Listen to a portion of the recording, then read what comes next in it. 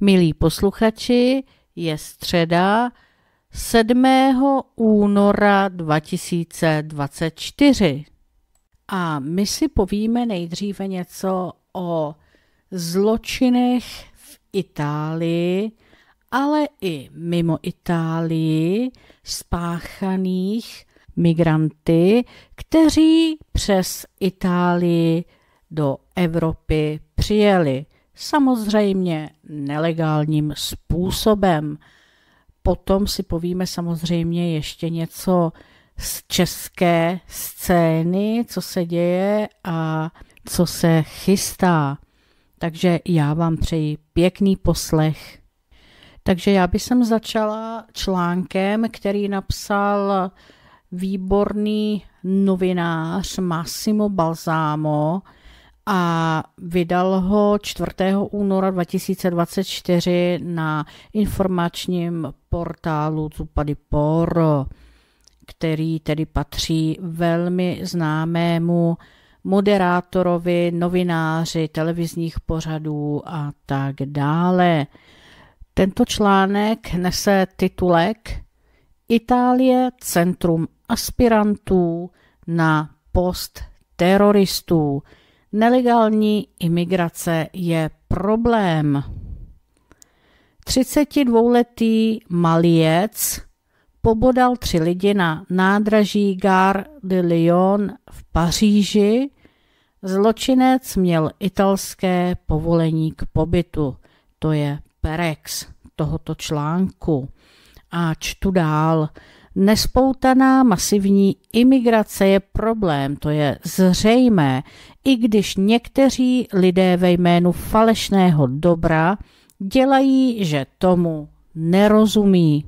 V posledních letech jsme zaznamenali desítky případů atentátů či útoků provedených údajnými zde doplním, jak se kdysi vyjádřila italská sluníčkářská politička Boldriniová Laura Boldrini italsky, takže provedených údajnými obohacujícími zdroji z řad migrantů. Poslední krvavá epizoda se stala o minulém víkendu, na nádraží Gare de Lyon v Paříži byli pobodáni tři lidé. Tři oběti naštěstí vyvázly s více či méně vážnými zraněními, ale v centru diskuzí je jiný prvek. Útočník, který skončil v poutech, Sagu Guno Kasuge, občan Mali s běžným povolením k pobytu a řidičský průkaz vydaný v Itálii. 32-letý muž měl u sebe lístek s dohodnutým termínem na, na schůzku do psychiatrické léčebny v Turíně a byly u něj nalezeny i léky jako antipsychotika a antiepileptika. Žádné spojení s terorismem, ale s migrací ano. Útočník vstoupil do Itálie dne 22. srpna 2016 z Podsala na Sicílii přičemž dne 17. prosince 2018 mu byla udělena doplňková ochrana územní komisí Turín, motivovaná kontextem všeobecného násilí v regionu původu a stavem křehkosti spojeným se závažnou patologií. Malýský agresor, který vyvolal paniku v Paříži, přistal s dalšími migranty na Sicílii v Podsalo 22. srpna 2016, jak jsme již řekli, během Renciho vlády. Není to poprvé, co v uvozovkách obohacení či zdroj obohacení přicházející do Itálie rozsévá teror v Evropě a jen si vzpomeňte na berlínského útočníka v prosinci 2016. Přistal na Lampeduze přesně jako Tunisan, který loni v říjnu v Bruselu zabil dva Švédy. Obviněný místo předseda vlády Matteo Salvini nedávno při procesu řekl, obrana italských hranic je obranou evropských hranic. Budu to nadále říkat a myslet si to, i když mě levice, tedy italská levice, za to, že jsem je chránil, poslala před soud a hrozí mi až 15 let vězení. No, co si budem povídat, je nemožné mu nedat za pravdu. Tak to prostě je a to je realita. Čtu dál. Přistěhovatelství bude horkým tématem volební kampaně a pařížská epizoda se přidává na seznam útočníků v Evropě s takzvaným italským původem. No samozřejmě v uvozovkách. Poslední případ se datuje teprve před čtyřmi měsíci. Abdesalem Lasuet, 45-letý Tunisan, zodpovědný za útok v centru Bruselu, při kterém byli zabiti dva Švédové. Ten prošel Janovem a Boloňou člen sítě islámských extremistů, kteří v posledních letech skrvavili půlku Evropy a kteří nějakou dobu žili u nás. V některých případech jim pomáhá síť kontaktů. Další epizoda se datuje do 8. listopadu 2021, kdy Leghar Ben Rabach pobodal tři policisty před policejní stanicí v Cannes. Muž přistál v Cagliari v roce 2008 a od roku 2018 byl držitelem italského povolení k pobytu vydaného policejním velitelstvím v Neapoli. A znovu, 29. října 2020 tři lidé zabiti při útoku nožem v bazilice Notre Dame, který provedl Tunisán Brahim Aousaoui který o několik týdnů dříve přistal na Lampedúze v klasické vlně nelegálního přistěhovalectví. Po krátkém pobytu v hotspotu ostrova byl mladý Tunisán převezen na karanténní loď Rhapsody, kde zůstal až do 8. října. Následující den byl převezen do centra pro migranty v Bari, odkud se po obdržení příkazu k deportaci tajně dostal do Francie. Jedním z nejslavnějších případů je případ Anise Amriho, tuniského vraha, který v roce 2016 spáchal masakr v Berlíně tím, že svou dodávku pustil do davu procházejícího se ulicemi vánočního trhu a zabil 12 lidí. Cizinec přistal na Lampeduze v roce 2011 a stal se známý dlouhou řadou trestných činů.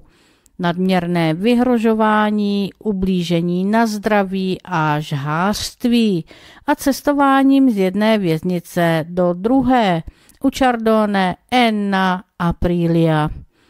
Amri nebyl spokojen po útoku uprchl do Itálie a byl zabit v přestřelce se dvěma policisty poblíž stanice Sesto San Giovanni v Miláně.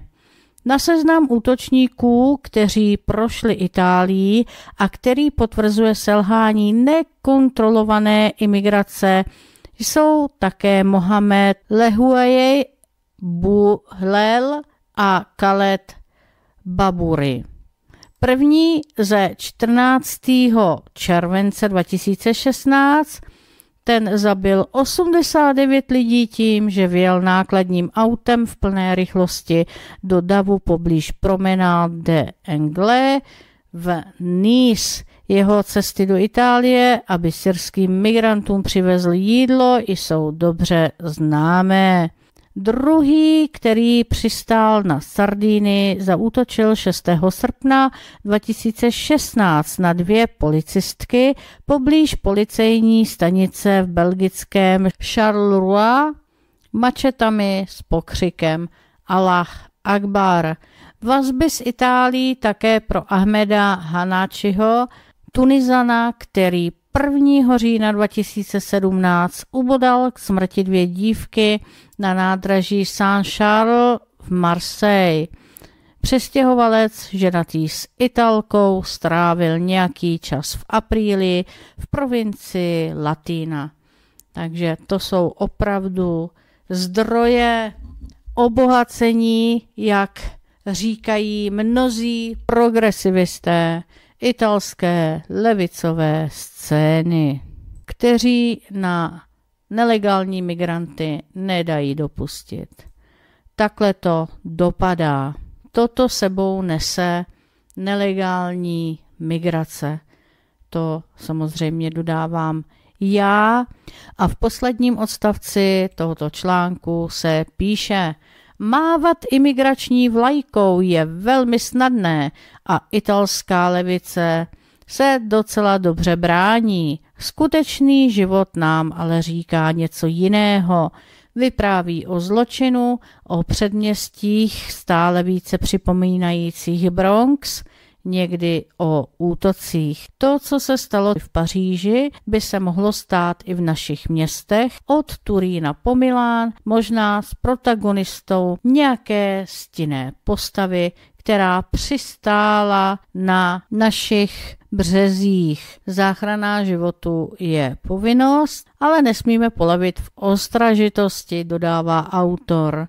Ano, samozřejmě, to se může stát. Nejenom v Itálii, jak jsme viděli, stalo se to většinou tedy ve Francii, kde o tom se píše a e, v Belgii, ale samozřejmě víme, že ty útoky jsou i v jiných zemích v Evropě a není nikde napsáno, kde to bude příště a jestli to zrovna nebude třeba zrovna tady. Takže toto je opravdu nebezpečí, které je reálné a svědčí o tom další informace. Zatím tedy z Itálie, kde byla znásilněna 13-letá dívka na Sicílii a aktéři tohoto hrozného činu byli imigranti z Egypta, byli to mladí muži, někteří i nezletilí. Dva se aktivně častnili fyzického znásilnění dívky a pět jich drželo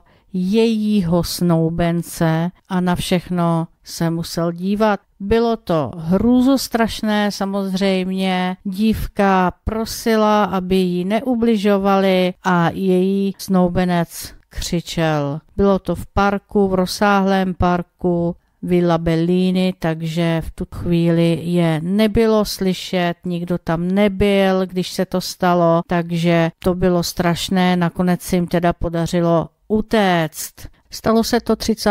ledna a do novin se to dostalo přibližně před třemi dny, po tom, co probíhalo různě od policie hledání teda těch vyníků, kteří se našli. Bylo to opravdu šílené. Dívenka byla velmi statečná, protože vše nahlásila okamžitě a dokonce identifikovala své agresory. Stalo se to vlastně odpoledne toho 30.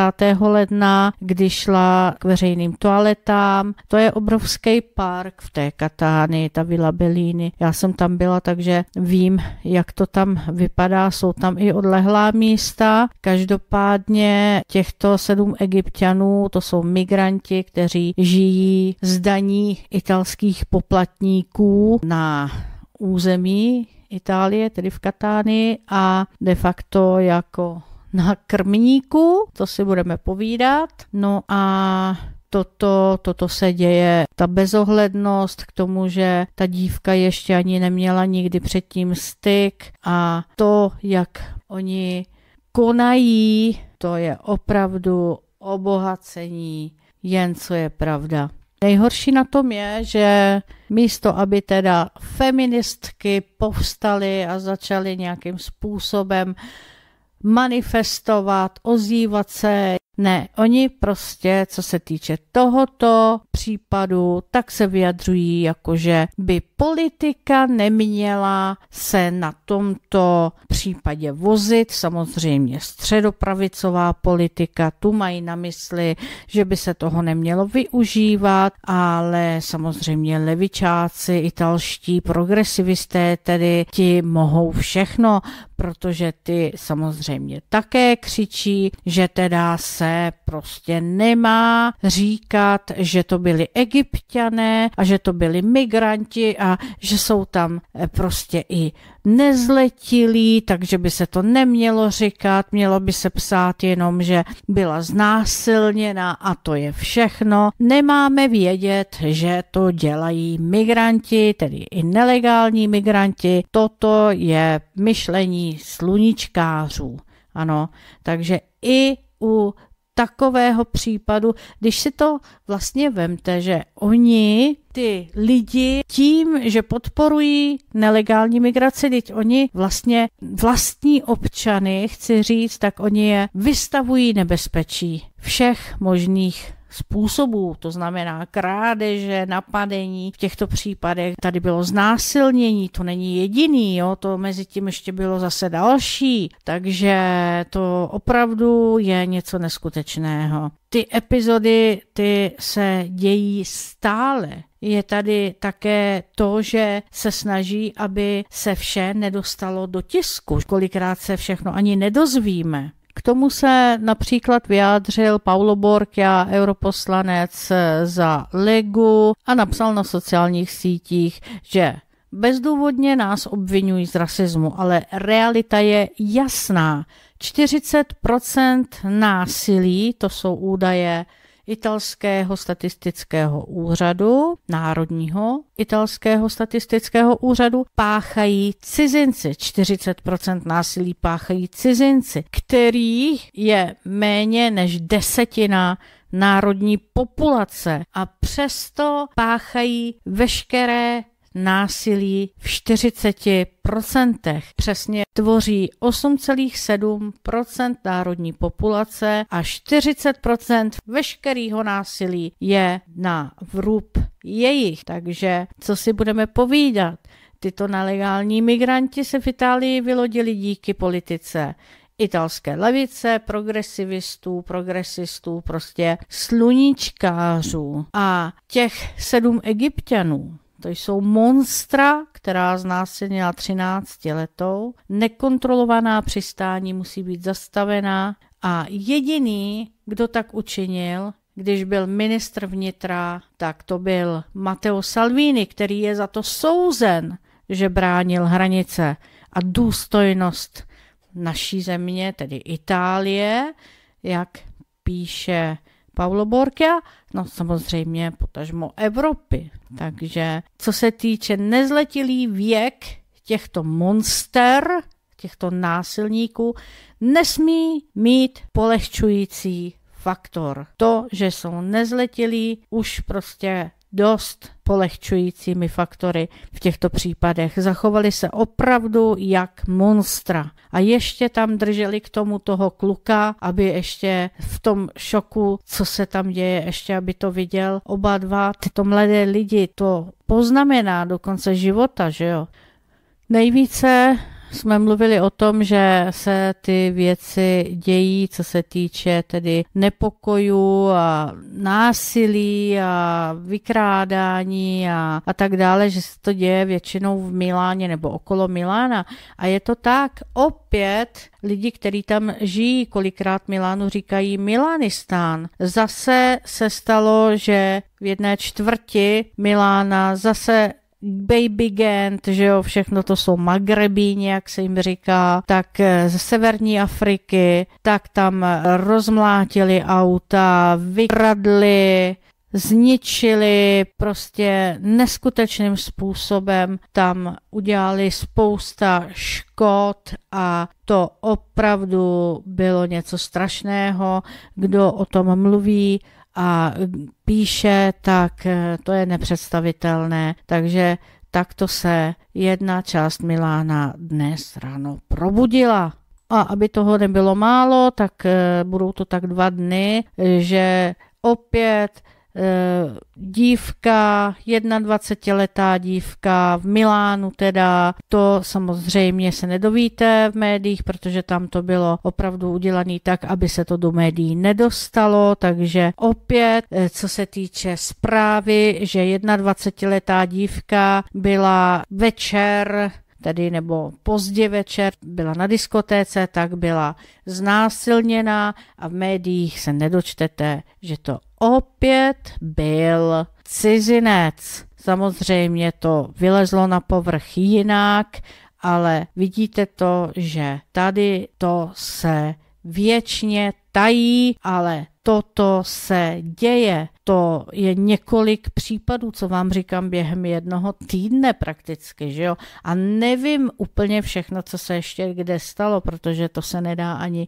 vyhledat a dát dohromady, dovíme se to časem, že jo? To se vždycky nějakým způsobem dovíme, že tedy něco se stalo někde ještě navíc, tak potom se to samozřejmě dá přidat do té statistiky, ale je tady opravdu obrovská snaha ještě tedy, aby, aby se to nedostalo do médií. Stále zde vládne jakási ruka, teda progresivistická, že jo, aby to lidi nevěděli. A nyní bych vám přečetla velmi zajímavý článek z časopisu Argument, je to článek ze 7.2.2024, který napsala Jana Turoňová a Tomáš Doležal. Titulek zní Pěti koalice se chystá ukrást příští volby do poslanecké sněmovny. Jana Turoňová a Tomáš Doležal míní, že současné vládní pokusy o zavedení korespondenční volby otevírá cestu k volebním manipulacím. Jaké jsou jejich argumenty? Pěti koalice našla další způsob, jak udeřit proti demokracii. Koncem ledna prošel do druhého čtení poslanecký návrh na zavedení korespondenční volby pro české občany žijící v zahraničí.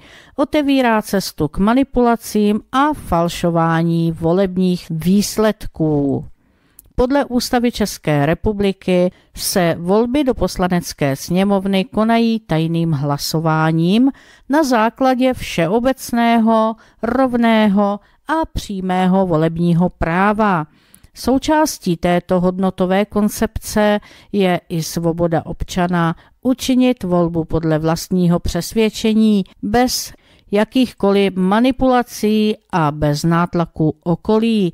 Pokud do našeho právního řádu včleníme korespondenční volbu, stanou se tyto ústavní principy jen prázdnou filoskulí a to z několika důvodů.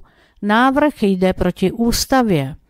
Každý český občan žijící v zahraničí, který požádá po případném schválení korespondenční volby příslušné velvyslanectví o zaslání volebních dokumentů, jejichž součástí je doručovací obálka, úřední obálka, identifikační lístek, volební lístek a případně voličský průkaz, ztrácí svoji anonymitu. Takový občan si již nikdy nemůže být jistý, že jeho volba nebude stotožněna s jeho jménem uvedeným na identifikačním lístku. Padá tím imperativ tajnosti volby ve vertikální rovině, tedy tajnost volby občana vůči veřejné moci. A stejně tak mizí svoboda volby, tedy nikým neovlivněné privilegium zvolit si zástupce podle vlastního přesvědčení. Korespondenční volič nemá nikým zajištěno, že v okamžiku aktu volby bude sám. Může tak volit pod přímým či nepřímým nátlakem svého okolí či v bezprostřední blízkosti dalších osob, které budou kontrolovat a sledovat jeho volbu. Procesu korespondenční volby, tak jak jej přikládají vládní poslanci, bude dokonce možné využít prostředníka, třetí osobu, která bude mít právo vyžádat si jménem oprávněného voliče volební dokumenty a celou volbu potenciálně provést na místo něho. Otevírá se tak cesta pro kupčení z hlasy, konkrétně s identifikačními lístky. Oni prostředníci navíc získají oproti jiným neoprávněnou a nezákonnou výhodu. Budou mít více volebních hlasů, čímž se prolamuje další ústavní zásada, totiž zásada přímosti volebního práva. Důvod ke znepokojení představují i novelou předvídané administrativní postupy. Na zastupitelských úřadech se pokud vládní návrh vstoupí do praxe, budou 25 dní před oficiálním datem voleb volně povalovat obálky s volebními a identifikačními lístky a zaměstnanci těchto institucí, z nichž dva až tři budou tvořit takzvané zvláštní okrskové volební komise, k ním budou mít po celý tento čas prakticky neomezený přístup. Porušení legislativního procesu. Tento absurdní lapsus, stejně tak jako mnohá další ustanovení tohoto pěti koaličního veledíla, je důsledkem skutečnosti, že zavedení korespondenční volby je předkládáno formou poslanecké legislativní iniciativy a nikoli prostřednictvím řádného vládního návrhu zákona, který by prošel standardním připomínkovým řízením, včetně jeho posouzení ze strany Legislativní rady vlády. A to je u takto zásadního materiálu něco neslíchaného.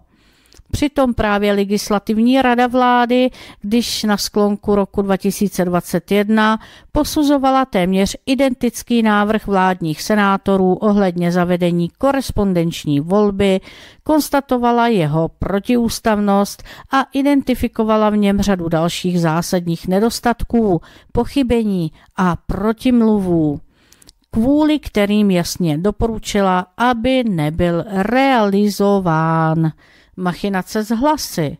Text vládních poslanců je v skutku místy doslova absurdním a diletantským slohovým cvičením. Bohužel s drtivými dopady, které mají potenciál rozložit náš funkční volební systém, zejména pokud se týče voleb do poslanecké sněmovny. Jde především o způsob převodu zahraničních korespondenčních hlasů na poslanecké mandáty. Ve volbách do poslanecké sněmovny v roce 2025 i tehdy, pokud proběhnou předčasně, budou všechny fyzické i případné korespondenční hlasy ze zahraničí stejně jako je tomu nyní přiřazeny do jednoho vylosovaného českého volebního kraje z celkových 14.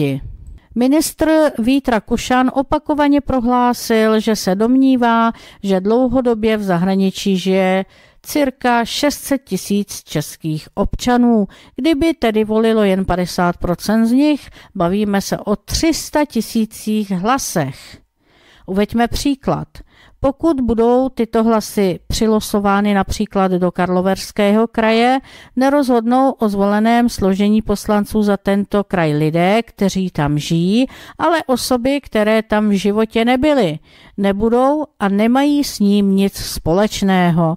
A navíc tento kraj získá 16 poslaneckých mandátů na místo dosavatních pěti tedy více než devět mnohem lidnatnějších českých krajů. Přičemž výraznou většinu karlovarských poslanců zvolí nikoli místní občané, ale Češi ze zahraničí, a to velmi pravděpodobně z řad těch politických subjektů, které by zde před zavedením korespondenční volby ze zahraničí nezískali ani jeden jediný mandát. Zajímavé je také zmínit takzvanou volbu v předstihu, tedy stav, kdy korespondenční voliči hlasují až několik týdnů tedy 25 dní, před oficiálním datem voleb. Může nastat situace, že během této doby se odehraje zásadní politická událost, která tyto voliče povede ke změně jejich volebního rozhodnutí. Ovšem svoji volbu již nebudou moci nijak změnit a budou hlasovat pro politický subjekt, pro který by v případě, kdyby neexistovalo korespondenční hlasování, v oficiálním termínu voleb nehlasovali. V návrhu zákona rovněž není nijak ošetřeno to, aby korespondenční voliči nesměli současně fyzicky hlasovat i v oficiálních dnech voleb na území České republiky. Zahraniční voliči tudíž budou mít teoreticky dva hlasy. Do konečných eh, volebních výsledků se budou navíc započítávat i hlasy osob, které v době mezi odesláním korespondenčního hlasu a uzávěrkou volebních místností zemřou. S nadsázkou můžeme říci, že o podobě budoucí české vlády rozhodnou hlasy ze záhrobí, což je naprosto nepřijatelné. Vláda se podbízí voličům ze zahraničí. Podobných podivností je v poslaneckém návrhu na zavedení korespondenčního hlasování ze zahraničí ještě daleko více.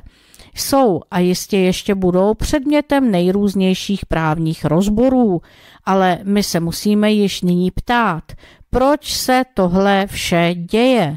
Proč má naše vláda takovou nadstandardní péči o voliče žijící v zahraničí? Proč se této voličské skupině tak podbízí? A proč právě nyní? Odpověď se nabízí sama protože se současné vládní strany bojí dalších voleb, mají strach, že své pozice neuhájí a proto hledají způsob, jak si do příštího roku vyrobit účinný nástroj pro manipulaci s volbami, s voliči a s demokracií jako takovou. Podle volebního modelu agentury STEM z konce roku 2023 jsou volební preference TOP 09 na úrovni 5,2%, KDU ČSL 3,5% a hnutí stan 6,4%. Není divu, že se jejich představitelé bojí a chtějí si svoji koalici pojistit na věčné časy, i když se jim už začíná rozpadat. Na tomto návrhu se shodli všichni za stan Vítra Kušan, Josef Cogan, Lucie Potůčková, za ODS Petr Fiala, Marek Benda, Eva de Croix, za KDU ČSL, Marian Jurečka, Aleš Dufek, Jiří Navrátil, za TOP 09, Markéta Pekarová Adamová, Jan Jakob, Michal Zuna a za téměř celý pirátský klub Ivan Bartoš, Olga Richterová a Jakub Michálek. Výsledky hlasování ze zahraničí ve volbách do poslanecké sněmovny v roce 2021 dopadly velmi výrazně ve prospěch stran současné vládní koalice, Předvolební koalice Pirátů a hnutí stan zde dosáhla 50,5% hlasů a koalice spolu, tedy ODS, TOP 09, KDU, ČSL 34,3% hlasů. A to je také ten důvod, proč se tyto strany nyní znovu obracejí do zahraničí a hledají svou politickou a mocenskou záchranu mezi občany, kteří pod taktovkou jejich vlády fakticky nežijí výroba nových voličů. A to ještě návrh zákona o korespondenční volbě ze zahraničí doprovází jiná novela z pera vládních poslanců, totiž novela zákona o státním občanství České republiky, která by umožnila nabití našeho státního občanství i potomkům dětí českých emigrantů do zahraničí z let 1948 až 1989 i ve čtvrté generaci, tedy prapravnukům těchto osob a to pouze na základě jejich prohlášení, že tento požadavek zákona splňují. Účinnost této novely je navrhována k 1. 7. 2024. Účinnost korespondenčního hlasování k 1. 1. 2025. Ještě někdo pochybuje o účelovosti této vládní legislativní strategie? A nyní vám pustím převzatý pořád z YouTube předsedy SPD Tomia Okamury. Jedná se o tiskovou konferenci, která proběhla 6.2. a Tomio Okamura to publikoval pod názvem Fialová vláda chce přijmout euro, drahé energie, klesající ekonomika, látka HHC a další. Takže zde se dozvíte, co se na nás šije a tak je to velice důležité. Přeji pěkný poslech. Vážené dámy a pánové, ministr pro evropské záležitosti Martin Dvořák z Nutí stán včera jmenoval zmocněnce pro přijetí eura. Fialová vládní koalice chce za každou cenu prosadit euro v České republice a poškodit naší republiku. A teď se ve vládě hádají. Ministr Dvořák za stan si dělá, co chce, a premiér Fiala to jako obvykle vůbec neřídí. Navíc v ODS chtějí také euro. To, že chtějí euro, například řekl předseda Senátu za ODS Miloš, eh, Miloš Vystrčil, řekla to i senátorka Miroslava Němcová, řekla to i poslankyně ODS eh, paní Zajíčková a tak dále. Takže ODS prosazuje euro v České republice také. Hnutí SPD zásadně odmítá přijetí eura, protože to není výhodné. A já bych chtěl eh, pozvat eh, občany v červnu k volbám do Evropského parlamentu, které, které budou referendem. Referendem o Fialově vládě, referendem o přijetí či nepřijetí eura v České republice a referendem o přijímání či nepřijímání migrantů. Fialova vláda prosazuje přijetí eura, přijímání migrantů, protože podpořil migrační pakt a samozřejmě tuto vládu je potřeba co nejdříve ukončit. Děkuji. Téma doplní i společný kandidát hnutí SPD a strany Trikolora do eurovoleb ekonom Petr Mach. Dobrý den, já bych chtěl dovysvětlit ten argument, v čem by vlastně zavedení eura a i ten e, povinný dvouletý pobyt v systému takzvaného RM2, tedy fixního kurzu, by byl pro Českou republiku, pro naši ekonomiku škodlivý a nebezpečný. Vlastně pro ekonomiku, která je v situaci, že se snaží dohánět ekonomiky, které mají vyšší úroveň příjmu na obyvatele, tak pobyt ve fixním kurzu vždycky, a to říkám e, ne jako, nejenom jako politik, ale i jako ekonom, vždycky znamená vysokou inflaci. A tím pádem my si můžeme být jistí a můžete se zeptat jakéhokoliv ekonoma, myslím si, že i pana Zahradníka, že pobyt v režimu RM2 fixních kurzů by pro nás znamenal vysokou inflaci a ta by znamenala vlastně pokles reálných mest, znehodnocení úspor a nám by mělo být varováním ten pobyt v režimu fixního kurzu, který udělala Česká národní banka v těch letech 2014 až 17, který znamenal tu obří inflaci,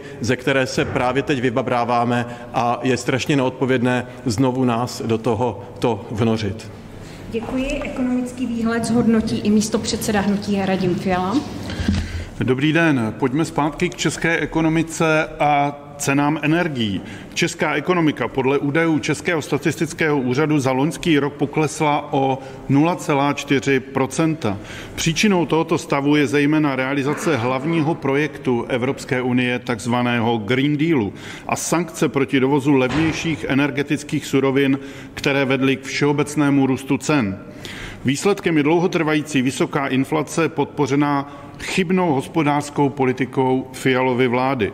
V jejímž důsledku se občanům znehodnocují úspory, klesají jejich příjmy a jsou tak nuceni výrazně omezovat svoji spotřebu.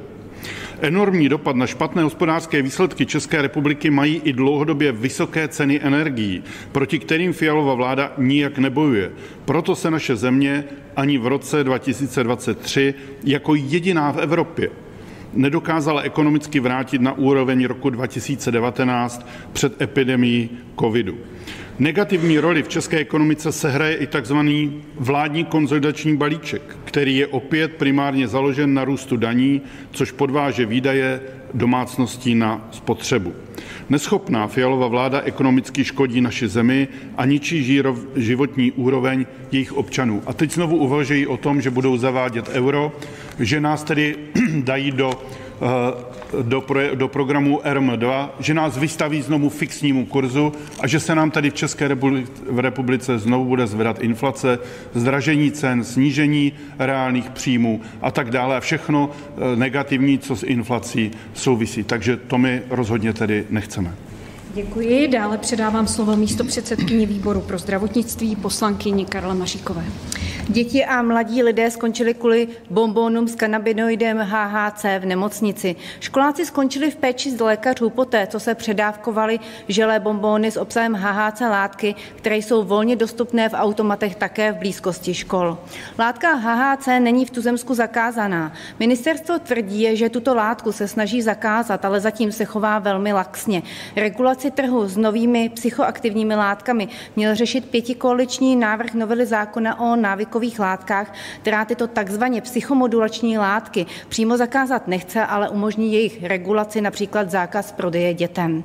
Novela prošla sněmovnou prvním čtením už 26. září. Ten zákon byl však velmi nekvalitně zpracovaný, že jej bylo nutné kompletně opravit, na čemž přislíbilo samozřejmě eh, práci ministerstvo zdravotnictví pod vedením Vlastimila Válka. A proto lhůta na projednání ve výboru pro zdravotnictví byla prodloužena na 90 dní. Ale ani po 90 dnech jsme se nedočkali žádného komplexního pozměňovacího návrhu a předkladatelé z řad pěti koalice se s ministerstvem stále dohadují na podmínkách. Tvrze, tvrzení protidrogového koordinátora Vobořila, že legislativu není možné posunout dál, protože se ve sněmovně obstruuje, se nezakládá na pravdě. Na vině je nekvalitně připravený zákon a laxnost ministerstva zdravotnictví. Dětem a mladistvím tak jsou i nadále přístupné látky, které mohou ohrozit jejich život a zdraví. Proto pěti koali, pro pěti koalici je evidentně důležitější korespondenční volba než zdraví a životy našich dětí. Dále bych chtěla zmínit, že politické neziskové organizace tlačí na to, aby byla možná úřední změna pohlaví bez kastrace. V dopise adresovaný premiéru Petru Fialovi uvádějí, že současný právní rámec České republiky v této oblasti zaostává za jinými evropskými zeměmi a vystavuje trans osoby nehumálním podmínkám. SPD zásadně nesouhlasí s tím, aby k oficiální změně pohlaví mělo stačit pouhé prohlášení na matrice a potvrzení lékaře, jelikož pohlaví nelze označit za volitelnou disciplínu podle toho, jak se kdo vyspí a je předem dané. Došlo by ke komplikacím v sociálních a sportovních kontextech, jako například, že ženy budou otcové svých dětí a muži budou matkami svých dětí. Muži se budou vydávat za ženy v ženských šatnách, na toaletách a na závodech budou neférově vítězit ve sportech. Celosvětový trend se ubírá k tomu, aby se změna pohlaví nepovažovala za zdravotnický problém, ale životní filozofii. V takovém případě by pak stanovisko lékařů nemělo žádný význam. Musíme si uvědomit, že jakékoliv změny v této oblasti budou mít na společnost dopad jako na celek a povedou k jejímu rozvratu. Děkuji. K reformě systému sociálních dávek se vyjádří místo předsedkyně výboru pro sociální politiku poslankyně Lucie Šafranko. Dobrý den, dámy a pánové. Po mnohaletém tlaku SPD přišel ministr práce a sociálních věcí s nějakým návrhem na alespoň určité dílčí řešení zneužívání sociálních dávek nepřizpůsobivými. Dovolte mi tedy krátkou reakci na tento včera avizovaný návrh na sloučení čtyř sociálních dávek do jedné, který by měl vést ke zjednodušení sociálního systému a snížení rozsahu jeho zneužívání. V obecné rovině jsme rádi, že se o tomto závažném tématu začíná dále hovořit. Připomínám, že jsem již dvakrát předložila komplexní návrh zákona, který obsahoval na sedm desítek konkrétních změn, které by vedly k ukončení zneužívání sociálních dávek. Ale poslanci stran současné vládní koalice pokaždé zabránili jeho schválení. V návrhu ministra Jurečky postrádáme některá zásadní opatření, které náš návrh obsahoval, jako jsou například kontroly dodržování režimu dočasné pracovní neschopnosti u lidí, kteří sociální dávky pobírají, možnost okamžité kontroly v bytech v případě podezření z podvodného jednání při čerpání dávky, boj proti obchodu s chudobou či navázání vyplácení dávek na docházku dětí do povinného posledního ročníku mateřské školy. Jsme připraveni k jednání a diskuzi o tomto návrhu a budeme usilovat i o to, aby obsahoval co nejvíce efektivních nástrojů, které povedou k ukončení zneužívání sociálních dávek, aby systém sociálních dávek sloužil skutečně jen těm, kteří pomoc státu potřebují, jako jsou například seniori, pracující rodiny s nízkými, s nízkými příjmy a dětmi a také lidé se zdravotním postižením. Děkuji. Poslanec Radek Koten se vyjádří k agendě bezpečnostního výboru. Děkuji za slovo. My jsme minulý týden měli výbor pro bezpečnost, který byl poměrně dost sledován sdělovacími prostředky. Nicméně došlo tam k poměrně kuriozní situaci. Policejní prezident si stěžoval, že na ty provozní výdaje policie České republiky nemá skutečně mnoho prostředků a proto i berou peníze policistům na stravné ve výši 56 korun. Takže jako výbor pro bezpečnost navrhli jsme usnesení, že tedy Eh, by se měly ty peníze pro policii a pro ministerstvo vnitra navýšit a eh, pan ministr eh, vnitra by tedy měl požádat ministra financí o ty dodatečné peníze. Nicméně ta kuriozní situace spočívala v tom, že všichni poslanci, kteří jsou zvoleni za pěti koalici, tak hlasovali proti tomuto usnesení, to znamená, aby policie nedostala žádné finanční prostředky navíc. Podle mě, podle mě to je v podstatě přímé ohrožení bezpečnosti občanů v České republice, protože v případě, že policisté eh, nebudou mít eh, na svoji činnost eh, peníze, je to opravdu velmi špatně.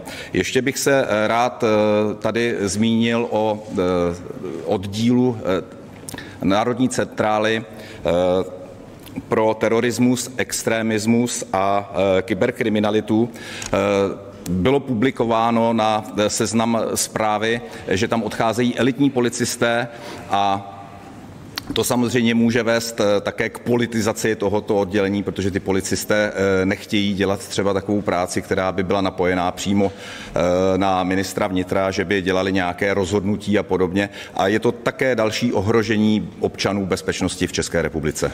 Děkuji. Poslanec a člen dozorčí rady VZP Jan Síla okomentuje aktuální kauzu ve Státním ústavu pro kontrolu léčiv.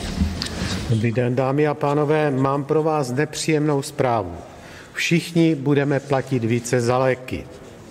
Ministerstvo zdravotnictví novelizovalo přílohu zákona, která bohužel zdaleka neobsahuje všechny přípravky na trhu. Nízkopříjmoví na moderní léky buď nedosáhnou, nebo je budou muset platit ze svých úspor. Jde například o moderní léky na léčbu cukrovky, biologickou léčbu astmatu, eventuálně šetrnější léky na epilepsii a na rakovinu prostaty krve. Jsme svědky dalšího zvyšování spoluúčasti pacientů v rámci bezohledné komercionalizace zdravotnictví. Jestli léky dostanou plnou úhradu od zdravotních pojišťoven nebo jakou částku uhradí pacient, rozhoduje SUKL, který spadá pod přímo řízené instituce Ministerstva zdravotnictví. Nově instalovaná ředitelka nechala zpracovat audit hospodaření ústavu za posledních pět let renovovanou auditorskou firmou. V prosinci minulého roku druhý den po obdržení výsledku auditu byla odvolána ministrem Válkem z funkce z vágních důvodů. Minulý týden na zdravotním výboru jsem byl účasten toho, kdy náměstek ministra oznámil, že nás poslance s výsledkem tohoto auditu nemůže seznámit, protože je tajný. Přičemž přiznal, že tento audit stál 1,5 milionu korun. V tomto auditu je spousta pochybení, já nechci zdržovat. Jedná se, řeknu jeden příklad, 44 zaměstnanců SUKLu mohou být ve střetu zájmu, protože mají eh, živnostenské listy na podnikání v tomto oboru a tak dále. Poměry v SUKL jsou dalším důkazem, že nejen ministr Válek, ale celá asociální vláda Petra Fialy je naprosto nekompetentní a proto je zralá na okamžitou demisi. Čím dřív to bude, tím méně škod stačí nadělat. Děkuji za pozornost. Děkuji. Předávám slovo poslankyni ústavně právního výboru poslankyni Ivětě Štefanové. Dobrý den. Senát vrací sněmovně ke znovu projednávání zákon o hlubiném úložišti a to, že navrhuje, aby pro rozhodnutí vlády o umístění hlubinného úložiště byl nutný i souhlas obou komor parlamentu, stejně tak jako příspěvek dočené obci nad rámec příspěvků stanovených atomovým zákonem. V rámci prvního projednávání zákona ve sněmovně předložilo hnutí SPD pozměňovací návrh, který právě tyto podmínky do zákona aplikoval. Dále jsme prosazovali takzvané právo veta pro dotčené obce. Tyto naše návrhy ale koalice nepodpořila. Senátem navrhované změny jsou tedy v souladu s postojem SPD a proto tento návrh podpoříme. Dále budeme projednávat na schůzi novelu zákona o soudech a soudcích. Vláda navrhuje omezit množství soudních jednání, ve kterých rozhoduje Senát s laickými přísedícími. Takzvaní soudci z lidu jsou ale jedním z nástrojů kontroly soudců a průběhu soudního jednání, kdy do procesu vnáší svůj nezaujatý laický pohled. Nesouhlasíme s omezením kontroly soudů veřejností a naopak tuto kontrolu je potřeba zachovat a ještě více rozšířit. Proto v rámci projednávání budeme navrhovat, aby počet soudních jednání s přísedícími omezen nebyl a aby byly pořizovány obrazové záznamy, které by byly po skončení procesu přístupné i veřejnosti a daly se využít jako materiál k následnému posuzování postupu soudu při pochybnostech. Děkuji. Závěrečné slovo požádám pana místopředsedu. Tak eh, dovolte, abych vám představil dalšího nezávislého odborníka.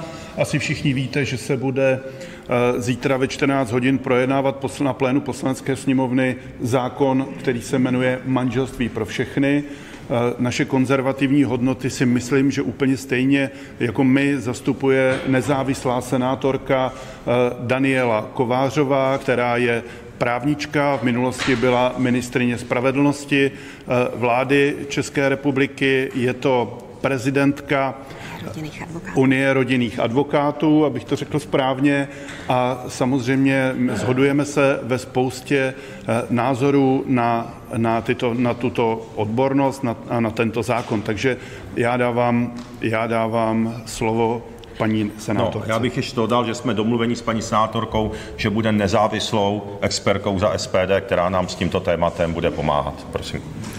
Děkuji za slovo, dobrý den. Eh, no, manželství pro všechny je lživý propagandistický slogan. Všichni víme, že manželství nikdy nebude pro všechny. Manželství je smlouvou dvou stran, ale ne e, smlouvou mezi dvěma partnery, ale mezi manželi na straně jedné a státem na straně druhé. Manželé tím slibem manželským na sebe berou povinnosti a stát jim za to uděluje privilegia. Je přitom zajímavé, že polovina všech párů, všech milion všech domácností v České republice žije v nesezdaném soužití a žádnou diskriminaci nezažívá. Je tedy otázkou, kdo na eh, přijetí manželství pro všechny v uvozovkách tlačí. Podle mého názoru to ani tak nejsou homosexuálové, ale spíš aktivistické skupiny progresivistů, kteří útočí na poslední enklávu, poslední útočiště, které člověku ještě zbývá, a to je rodina. A rodinu chtějí rozbít a s tím se nemohu stotožnit ani jako politik, ani jako právník, tím spíš eh, nad, eh, s tím nepochopením toho veřejnoprávního svazku mezi manželi jako držiteli povinností a mezi státem. A v souladu eh, s tím, co tady řekla paní senátorka, hnutí SPD je konzervativní hnutí a v souladu s těmito hodnotami my budeme hlasovat proti zákonu o manželství pro všechny. Tak a my jsme se domluvili s paní senátorkou, že ještě věnujeme větší prostor na další tiskové konference, na jedné z dalších tiskových konferencí, kde, protože je paní senátorka bude nezávislým expertem za SPD, tak kde ještě podrobněji představíme, eh, představíme eh, ty názory a řešení v této důležité oblasti. Děkuji za příspěvky. Nyní je prostor pro jeden rychlý dotaz. ČT. Paní Jelinková. Eh, tak možná jenom v rychlosti. Eh, dnes eh, budete přicházet ještě s nějakými mimořádnými body. Jdeme o to, že by se mělo dostat právě na ta úložiště, tak jak dlouho čekáte, že třeba debata o pořadu schůze může trvat, jestli chystáte třeba, pane předsedo nebo páni předsedové, nějaká další vystoupení. Děkuji. No, já, já jsem přesvědčen o tom, že to nebude nijak dlouhé, nicméně občané nám píší právě například to, o čem jsem tady mluvil, eh, že eh, se snižuje eh, hospodářství, výroba, že odcházejí společnosti z České republiky.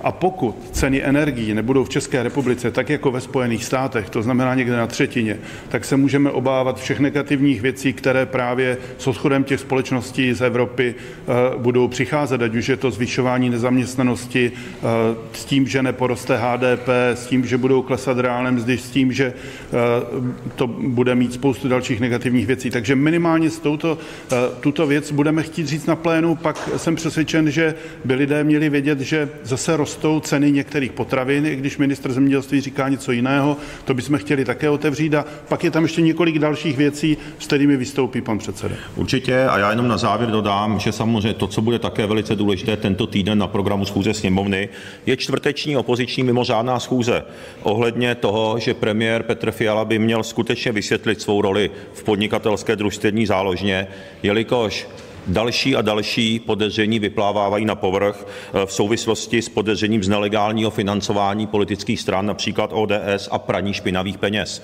což jsou skutečně velice závažné indicie a my to budeme řešit ve čtvrtek na té mimořádné schůzi. Tomu je potřeba věnovat čas, protože indicie nasvědčují tomu, že to s tím v úzovkách panem čistým vůbec tak čisté není. Děkuji, vyčerpali jsme vymezený čas. Děkujeme Děkuji, za pozornost. Děkujeme.